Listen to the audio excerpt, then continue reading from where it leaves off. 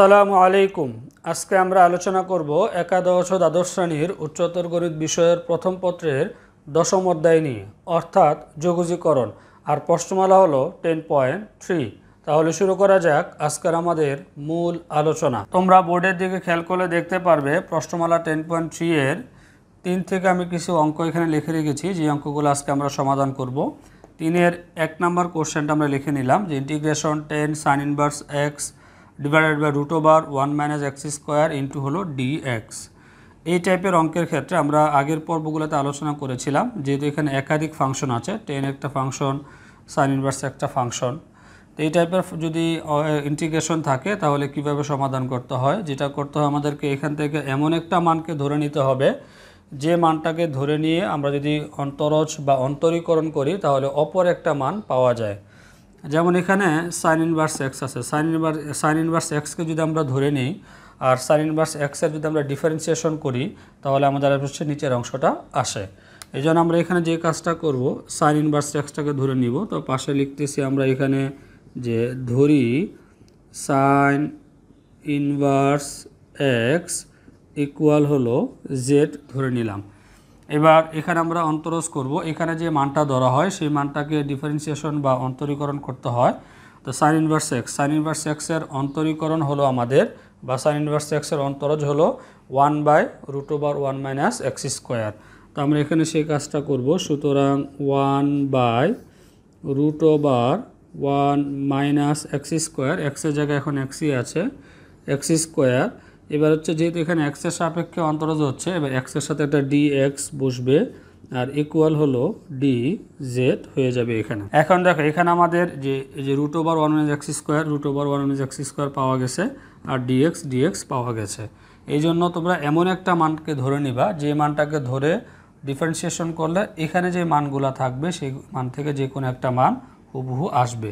এবার এখানে আমরা ইন্টিগ্রেশন বসালাম ইন্টিগ্রেশনটা বসে মান বসাবো টেন টেন আমাদের থাকল ten sine inverse x sine inverse X মানে হচ্ছে জেড এখানে বসবে হচ্ছে আমাদের জেড বসে গেল।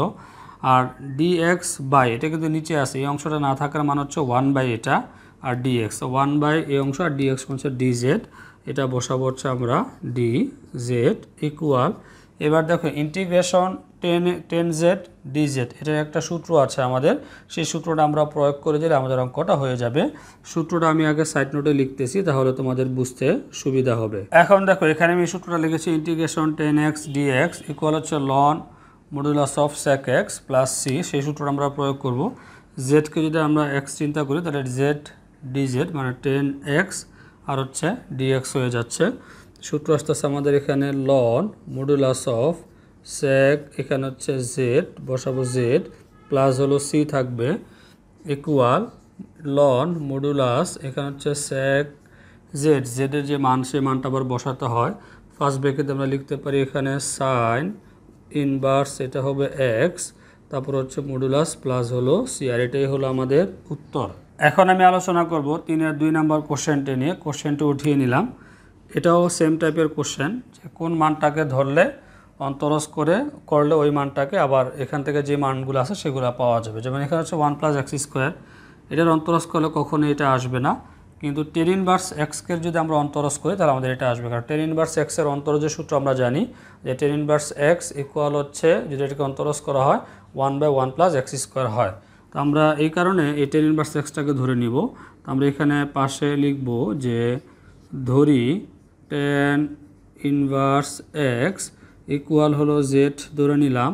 এবার টেন ইনভার্স এক্সের যে অন্তরজ ছিল, অন্তরজের সূত্র ছিল আমাদের one by one plus x square আর যেহেতু এক্সের সাপেক্ষে অন্তরজ হচ্ছে, এখানে হবে ডি এক্স ইকুয়াল হলো, এটা হবে ডি জেড এখানে আমরা টেন ইনভার্স এক্সের অন্তরজ করলাম টেন ইনভার্স এক্সের সূত্র হলো আমাদের, ওই অন্তরজ করলে সূত্র আসতেছে আমাদের one by one plus x square এই মানগুলো এখানে আমরা বসাবো। তাহলে আসতেছে এখানে আমাদের ইন্টিগ্রেশন যে d x by one plus x square তার মানে d x by one plus x square এটা সময় হলো জেড আর এখানে হচ্ছে টেন ইনভার্স এক্স তার মানে এটা নিচে আসে তাহলে আমরা টেন ইনভার্স এক্সের জায়গায় যদি এখানে জেড বসাই, তাহলে আসবে হচ্ছে ওয়ান বাই ওয়ান বাই হলো জেড আর এখানে হচ্ছে এই অংশের পরিবর্তে হচ্ছে ডি জেড তাহলে পাশে বসাবো হচ্ছে ডি জেড ইকুয়াল এবার দেখো integration one by z d z তো জেডকে যদি আমরা এক্সের মতো চিন্তা করি, তো ইন্টিগ্রেশন ডি এক্স ইন্টু হলো sorry integration one by x into হলো d x integration one by x আর হচ্ছে ডি এক্স মানে হচ্ছে লন এক্স হয়। তো আমরা সূত্রটা পাশে লিখতে পারি এখানে যে ইন্টিগ্রেশন ডি এক্স বাই হলো এক্স এটা সূত্র হলো আমাদের লন এক্স আর প্লাস হলো সি সেই সূত্রটা আমরা এখানে প্রয়োগ করব। ইকুয়াল এখানে আমাদের যে সূত্রটা লিখলাম, সেই সূত্রটা এখন প্রয়োগ করব, তার হচ্ছে লন এক্স ছিল এক্সের জায়গায় এখন জেড লন জেড প্লাস হলো সি ইকুয়াল এখানে আসতে আসতে আমাদের লন এবার আমরা এখানে একটা মডুলাস দিতে পারি জেড জেডের যে মান জেডের মান হলো আমাদের টেন ইনভার্স এক্স তো বসাবো হচ্ছে টেন ইনভার্স এক্স প্লাস হলো সি আর এটাই হলো আমাদের উত্তর। এখন আমি আলোচনা করব তিনের তিন নাম্বার কোশ্চেনটি নিয়ে কোশ্চেনটা উঠিয়ে নিলাম। এখানে আমাদের যে মানটাকে ধরলে অপর মানগুলো পাওয়া যাবে, সেটা হলো সাইন ইনভার্স এক্স আমরা এখানে সাইন ইনভার্স এক্সের মানটা ধরে নিব, তো পাশে লিখতে পারি হচ্ছে যে ধরি সাইন ইনভার্স এক্স স্কোয়ার আছে এখানে, শুধু সাইন ইনভার্স এক্স না মানে সাইন ইনভার্স এক্স স্কোয়ারকে ধরলে আমাদের এই পুরো অংশটা পাওয়া যাবে। তো এটা এই করে আমরা ধরবো হচ্ছে জেড এবার আমরা জানি হচ্ছে এটা যে মানটা ধরা হয় ওইখানে অন্তরস করতে হয়, তাহলে sine inverse x square x x স্কোয়ারকে আমরা এক্স হিসেবে চিন্তা করব। তাহলে সাইন ইনভার্স এক্স হয়। সাইন ইনভার্স এক্সের যে অন্তরস ছিল, সেটা ছিল আমাদের one by root over one minus x square তাহলে আমরা এখানে যদি সূত্রটা প্রয়োগ করি, যে বা দিয়ে লিখতে পারি one by root over one minus x square হবে। মানে যেটা এক্স হবে, তার উপর আবার স্কোয়ার হবে। তো এক্সের জায়গায় হলো এখন আমাদের এক্স স্কোয়ার তাহলে এক্স স্কোয়ার তার উপরে আবার হবে স্কোয়ার এবার দেখো, যেটাকে আমরা এক্স ধরেছিলাম, এটা কিন্তু এক্স ছিল না। অন্তরীকরণের সময় আমাদের এই নিয়মটা আমরা বলেছিলাম যে যে অংশটাকে এক্সের মতো কল্পনা করা হয়, ওটা যদি হুবহু এক্সের মতো না হয়, তাহলে ওইটাকে আবার অন্তরস করতে হয়। যেহেতু আমরা এখানে এটা ছিল এক্স স্কোয়ার এই এক্স স্কোয়ারকে আমরা এক্সের মতো কল্পনা করে নিয়েছি, যার কারণে আমাদের এই পুরাটার অন্তরস করার পর আবার যেটাকে এক্স এক্স ধরে নিয়েছিলাম, সেটাকে আবার অন্তরস করতে হবে। তাহলে এক্স স্কোয়ারের অন্তরস যদি আমরা করি, তো x to the power n এর সূত্র হবে। X to the power n এর সূত্র হলো n into x to the power n minus one তার মানে পাওয়ারটা সামনে আসবে আর পাওয়ারটা এক কমে যাবে। তাহলে টু থেকে যদি এক কমে যায়, তাহলে ওয়ান থাকে। ওয়ান আর লেখা দরকার নেই। আর সাথে হবে একটা ডি এক্স আর ইকুয়াল আসতেছে এখানে আমাদের ডি জেড সুতরাং দেখুন আমরা লিখতে পারি যে টু এক্স ডি ডিএক্সটা উপরে লিখলাম। টু এক্স এটা হলো ডি এক্স আর নিচে থাকতেছে আমাদের রুট ওভার ওয়ান মাইনাস এই পাওয়ারে পাওয়ারে গুণ হলে x to the power four R equal হচ্ছে এখানে ডি জেড এবার দেখো, এখানে যে কাজটা হয়েছে, আমরা সাইন ইনভার্স এক্স স্কোয়ারকে অন্তরস করলাম। Sine inverse sine inverse x square অন্তরস আসছে one by root over one minus x square তার উপরে হোল স্কোয়ার যেহেতু এটাকে আমরা এক্স ধরেছি সাইন ইনভার্স এক্সের অন্তর্গত সূত্র বসালে এটা আসে। আর এক্স স্কোয়ার যেহেতু যে হুবহু এক্সের সাথে মিলে যায় না, যার কারণে এক্স স্কোয়ারকে আবার অন্তরস করে আমরা এই অংশটা পাই, তারপর এটা ক্যালকুলেশন করলাম। এবার দেখো, এখানে যে মানগুলো আছে, সেই মানগুলো কিন্তু আমরা আমাদের এখানে আছে, যেমন টু এক্স বাই হচ্ছে রুট ওভার ওয়ান মাইনাস একশো x to the power four এটা এখানে আছে, আমরা এখন মানগুলো বসাবো। তাহলে ইন্টিগ্রেশন আমরা রেখে দিলাম। এখানে যে মানটা আছে sine inverse x square sine inverse x স্কোয়ারের মান হলো জেড তো আমরা এখানে বসাতে পারি জেড তারপর হচ্ছে two x two x into d x by হলো এই অংশটা, এটা সমান হলো আমাদের ডি জেড তো এখানে বসাবো হচ্ছে আমরা ডি জেড ইকুয়াল এবার হচ্ছে ইন্টিগ্রেশন জেড ডি জেড জেডকে যদি আমরা এক্সের মতো চিন্তা করি তো ইন্টিগ্রেশন এক্স ডিএক্স মানে ইন্টিগ্রেশন এক্স ডিএক্স যে সূত্র ছিল আমাদের, যে x the power n plus one by হলো এন প্লাস ওয়ান মানে এখানে পাওয়ার আছে ওয়ান তাহলে এটা ইন্টিগ্রেশন করলে হচ্ছে পাওয়ারের সাথে এক যোগ হবে, আর নিচে হবে পাওয়ারের সাথে এক যোগ করে ভাগ। তাহলে আমরা লিখতে পারি এখানে জেড তারপর হচ্ছে ওয়ান প্লাস ওয়ান বাই হলো ওয়ান প্লাস ওয়ান প্লাস হলো সি ইকুয়াল এখানে আমরা ক্যালকুলেশন করে আসতেছে এখানে ওয়ান ওয়ান যোগ করল টু তাহলে ওয়ান বাই হলো টু আর এটা আসতেছে আমাদের জেড স্কোয়ার প্লাস হলো সি ইকুয়াল এখানে থাকতেছে ওয়ান বাই টু জেডের যে মান আছে সেই মানটা বসাবো জেডের মান হলো সাইন ইনভার্স এক্স স্কোয়ার তো আমরা লিখতে পারি এখানে সাইন ইনভার্স এক্স স্কোয়ার আর উপরে টি স্কোয়ার এস স্কোয়ারটা দিব, তাহলে প্লাস হলো সি এখন আমি আলোচনা করব তিনের চার নাম্বার কোশ্চেনটি নিয়ে কোশ্চেনটা উঠিয়ে নিলাম। একই টাইপের কোশ্চেন এখানে আমাদের ওয়ান প্লাস এক্স স্কোয়ার আছে রুটের ভিতরে tan inverse x plus three তার মানে এই অংশটা ধরলে আমাদের এই অংশটা পাওয়া যাবে। তো আমরা এখানে মানটা ফার্স্টে ধরে নিব যে ধরি রুটের ভিতরে যে অংশটা আছে, পুরো অংশটা ধরলে আমাদের এই অংশটা আসবে। তাহলে টেন ইনভার্স এখানে হলো এক্স প্লাস তারপরে থ্রি ইকুয়াল হলো এটাকে আমরা জেড ধরলাম।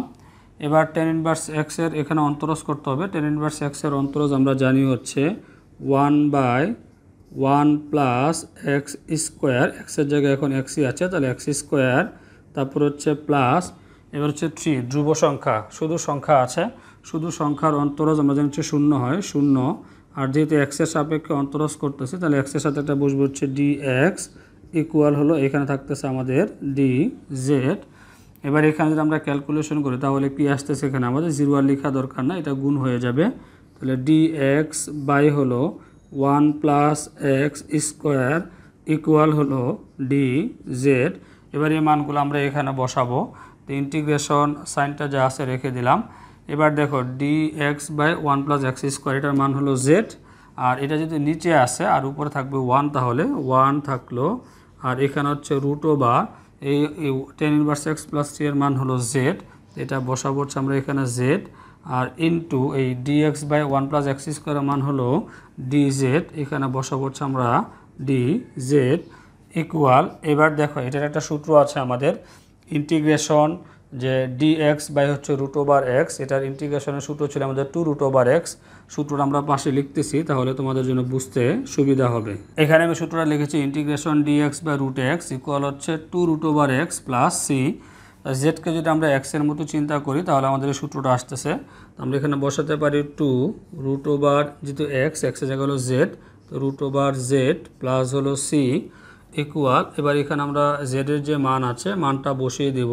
জেডের মান হলো আমাদের এই অংশটা। তো আমরা এখানে লিখতে পারি টেন ইনভার্স এক্স প্লাস তারপরে হলো থ্রি আর এখানে প্লাস সি একটা আছে ধ্রুবক। এটাকে বলা হচ্ছে যোগজীকরণ ধ্রুবক, এটা অবশ্যই লিখতে হবে। আর এটাই হলো আমাদের উত্তর। এখন আমি আলোচনা করব তিনের পাঁচ নাম্বার কোশ্চেনটি নিয়ে। কোশ্চেনটা উঠিয়ে নিলাম। এখানেও সেম একই টাইপের হবে। এই টেন ইনভার্স এক্স কিউবকে ধরলে আমাদের এই পুরো অংশটা আসবে। তো আমরা এখানে পাশে লিখে নিব যে ধরি tan inverse x cube equal হলো জেড এবার এখানে আমাদের অন্তরস করতে হবে। এখন দেখো, এখানে হচ্ছে এক্স কিউব আছে, তাহলে এক্স কিউব তো হুবহু এক্সের সাথে মিলে না। যার কারণে আমরা এক্স কিউবকে এক্স হিসাবে কল্পনা করব। এক্স হিসাবে কল্পনা করে টেন ইনভার্স এক্সের অন্তরজ বসাবো। তো আমরা এখানে টেন ইনভার্স এক্সের অন্তরজ যদি বসা যে সূত্রটা ছিল আমাদের one by one plus x square তো এক্সের জায়গায় হলো এক্স কিউব তার উপর একটা স্কোয়ার হবে।